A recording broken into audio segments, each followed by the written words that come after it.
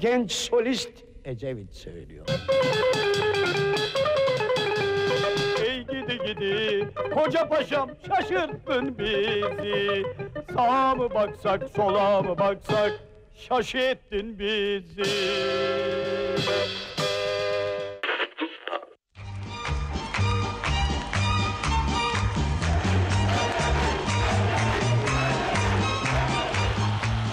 1973'te Bülent Ecevit'le ilk seçimine hazırlanan CHP, popüler müzikten faydalanmaya karar vermişti. Bak kardeşim, ellerini ver bana.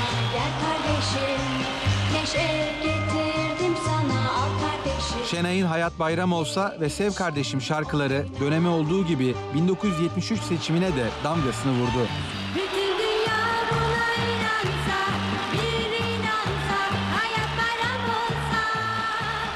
Henüz popüler şarkılara siyasi söz yazma akımı başlamamıştı.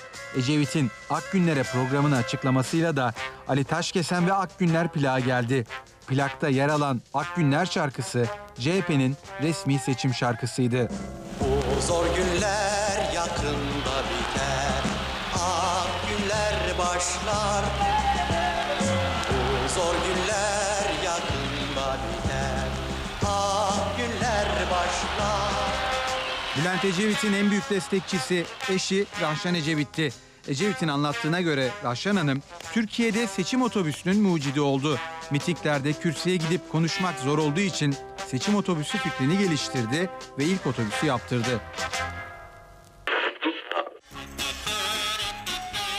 Adalet Partisi ise marş tarzını tercih etti. Mustafa Sevilen gayri resmi bir AP marşı besteledi. Ama seçimlere Yılmaz Türkoğlu imzasını taşıyan Demirel AP Marşı isimli plakta girildi. İktidara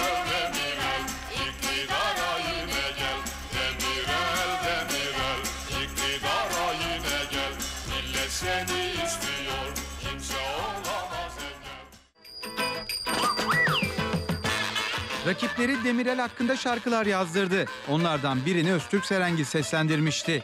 Aynı Öztürk Serengil bir seçim sonra bambaşka bir şarkıyla seçmenin karşısına çıktı. Zühtü türküsüyle komüniste kanma dedi.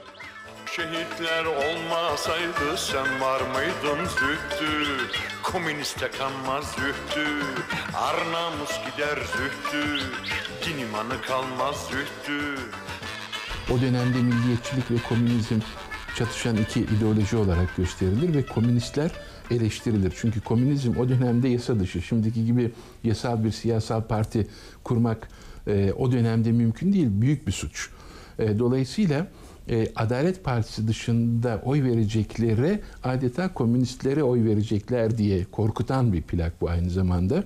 Şehitleri hatırlatan bir plak. Hatta yani eğer Adalet Partisi'ne oy vermezseniz ar namus kalmaz diyecek kadar ileri giden bir propaganda plağı. Kim söylüyor bu şarkıyı? Öztürk Serengil söylüyor. Zaten ilginçliği burada bir seçim öncesinde Öztürk Serengil Adalet Partisi Genel Başkanı'nı yerden yere vururken bu plakla beraber de hem Adalet Partisi'ni hem Genel Başkanı'nı yere göğe koyamıyor. Rumlara da barış getirmek için adaya gidiyorum. Kıbrıs'a çıkartma yapılmış, sağ sol çatışmaları artmış, ekonomide 70 sente muhtaç günler başlamıştı. Dönemin